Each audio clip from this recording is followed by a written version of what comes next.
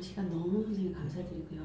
이 저희가 대략적인 이제 중요한 것들을 많이 들었는데요. 혹시 마지막으로 조금 더 학교 폭력 예방을 위해서 어, 선생님의 경험들을 통해서 조금 하시고 싶은 말씀이나 예비 교사들 저희가 이제 가르치고 있는데 그분들이 뭔가 좀 음, 필요 준비해서 오는 게 참 좋겠다라던가 음, 저는 그 교사 스스로 어, 정말 귀신 신하나 까먹는 소리일 수도 있는데 교사 스스로 행복해야 된다. 네. 왜냐하면 결국은 쌀떡에서 임신 난다는 말처럼 네. 교사가 여유가 있어야 애들을 돌보고 치유할 힘이 생기죠. 본인이 소진되고 본인이 허덕이는데 본인 안 보여요.